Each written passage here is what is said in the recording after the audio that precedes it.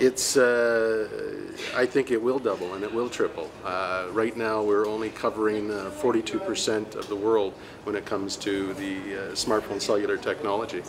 Um, so, yes, we've got 6.8 billion, but it, you have to take it into fact that uh, westernized nations, on average, have five connected devices.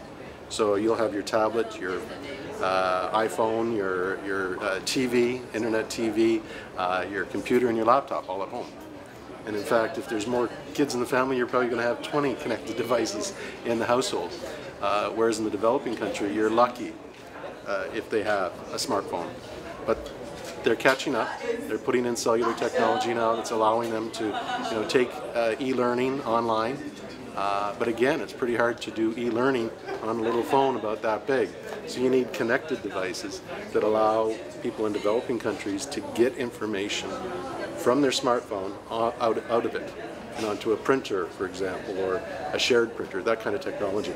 There needs to be a complement of many other technologies that have to assist what this is going to uh, do. But quick question, yeah, I think it's, it's going to more than double, and I think that that's going to be good for commerce. Uh, it's going to be very good for developing countries to, to be part of the, the worldwide community.